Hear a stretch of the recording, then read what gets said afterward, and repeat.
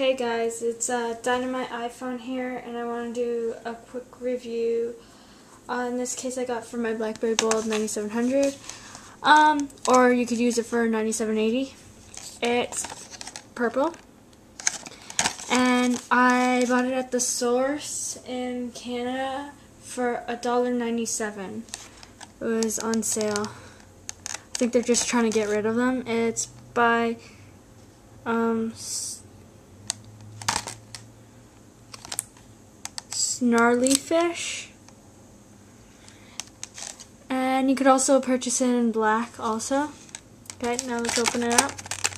I did use it for a bit and it ended up breaking, but it was worth the money. $1.97, you really can't go wrong for a case for $1.97. And it did end up breaking. Fake.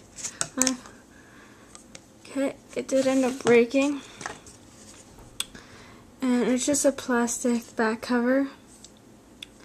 Broke right, I don't know if you can see right there. It broke.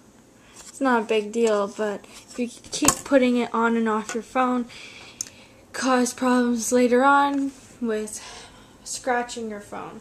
Now, I'm going to put it in. You just put it in like so, and just pop it on has all open covers right here, for here, for your bun, for your lanyard, speaker, camera, flash, and your buns here.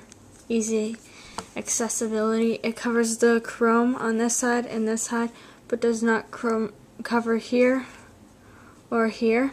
So it does offer protection for the back from scratches and stuff, but really doesn't offer much protection for um, much protection if you drop it. It's not shock protection. It's basically just for the look, and it won't, or for scratching. It's not. It doesn't offer much protection, but it is pretty good for $1.97 plus tax, which you could also go to their site at www. I'm not sure what it is, but um, you could go on their site and you just Google thesource.ca and you'll be able to find it. And I picked it up in the store though. It's pretty good. And um, thanks for watching. Please rate, comment, and subscribe.